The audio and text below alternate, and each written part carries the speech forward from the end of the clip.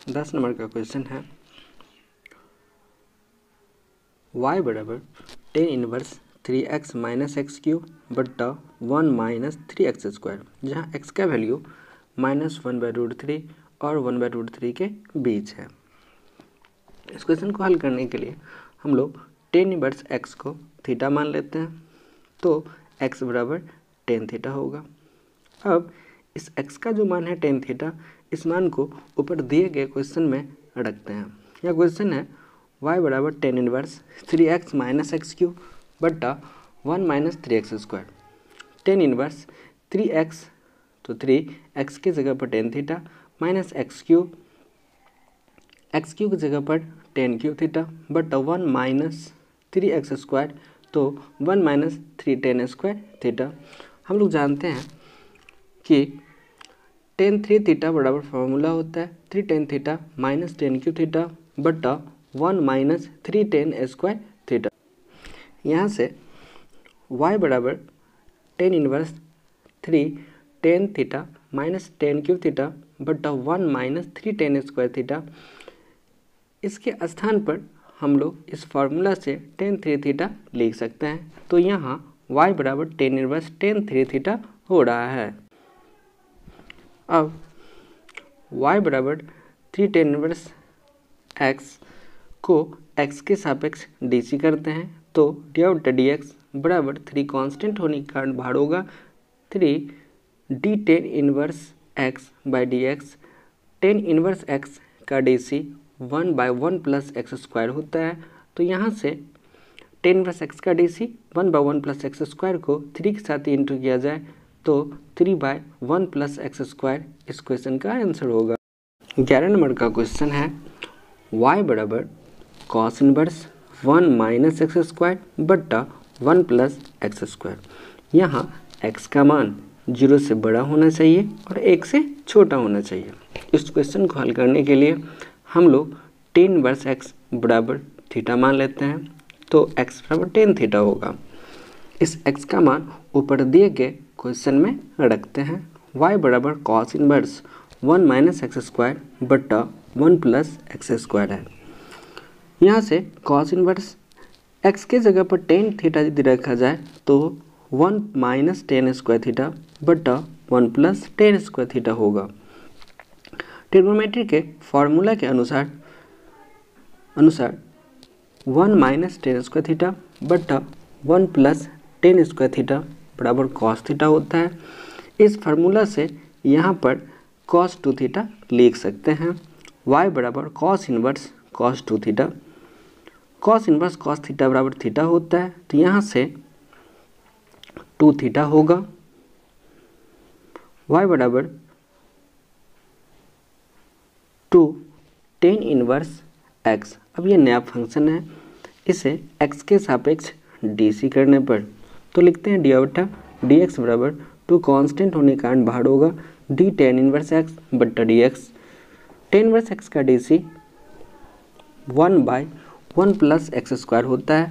तो यहाँ D tan inverse x का D C one by one plus x square यदि रखा जाए तो two into one by one plus x square two by one plus x square इस question बारह नंबर का क्वेश्चन है। y बराबर sine inverse one minus x square बट्टा one plus x square x का मान ज़ीरो से बड़ा होना चाहिए और एक से छोटा होना चाहिए। इस क्वेश्चन को हल करने के लिए हम लोग मान लेते हैं एक्स बराबर टेन थीटा तो टेन वर्स एक्स बराबर थीटा होगा। अब यहाँ से एक्स का वैल्यू ऊपर दिए गए क्वेश्चन में रखते हैं।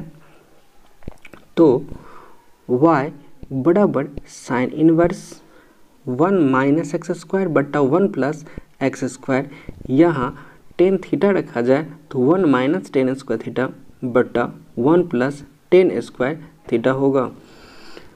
हम लोग जानते हैं कि one minus tan square theta बट्टा one plus tan square theta का फार्मूला होता है कॉस टू थीटा तो यहाँ कॉस टू थीटा हम लोग रख लेते हैं। तो वाई बराबर sine inverse cos two theta अब ये नया फ़ंक्शन है।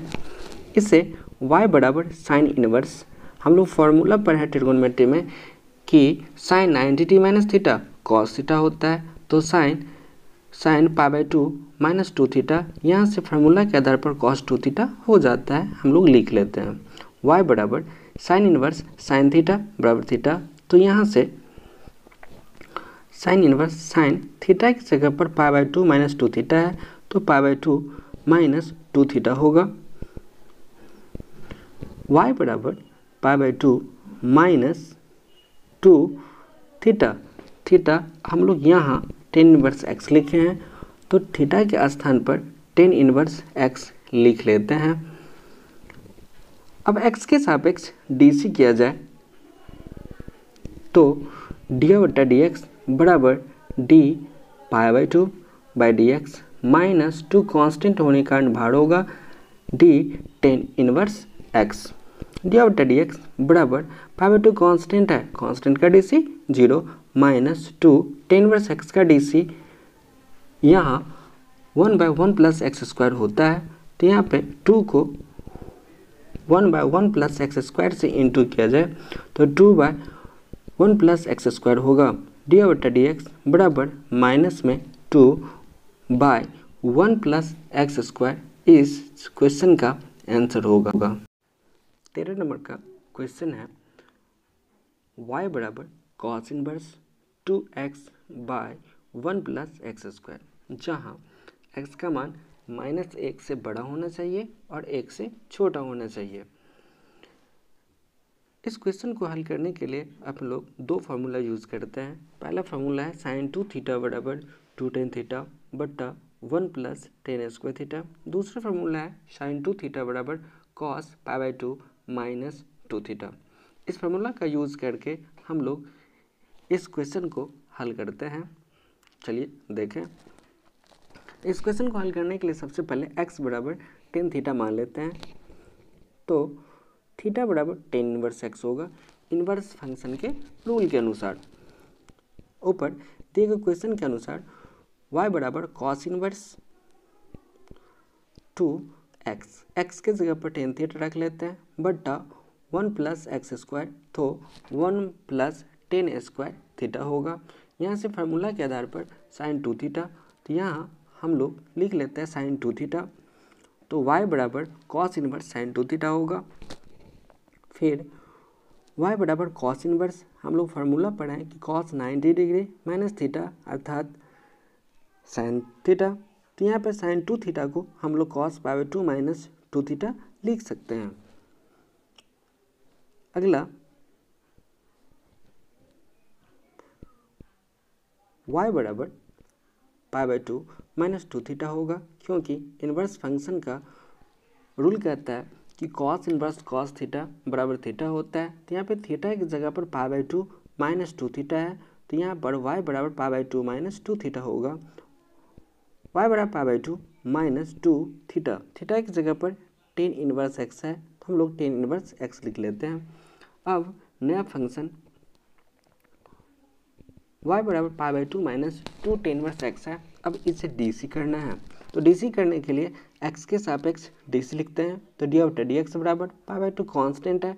कॉन्स्टेंट का D C zero minus two tan inverse x का फॉर्मूला होता है one by one plus x square तो टू टेन वर्स एक्स है तो टू बाहर होगा। टेन वर्स एक्स का D C one by one plus x square को टू से इंटू किया जाए तो टू बट्टा वन प्लस एक्स स्क्वायर होगा। ज़ीरो में से ये घटाने पर माइनस में होगा तो डी ऑफ़ डी एक्स बराबर माइनस में टू बट्टा वन प्लस एक्स स्क्वायर इस क्वेश्चन का आंसर होगा। चौदह नंबर का क्वेश्चन है, y बराबर sine inverse two x into root under one minus x square जहाँ एक्स का मान minus one by root two से बड़ा होना चाहिए और वन बाय रूट टू से छोटा होना चाहिए। इस क्वेश्चन को हल करने के लिए हम लोग मान लेते हैं कि साइन इनवर्स एक्स बराबर थीटा तो एक्स बराबर साइन थीटा होगा।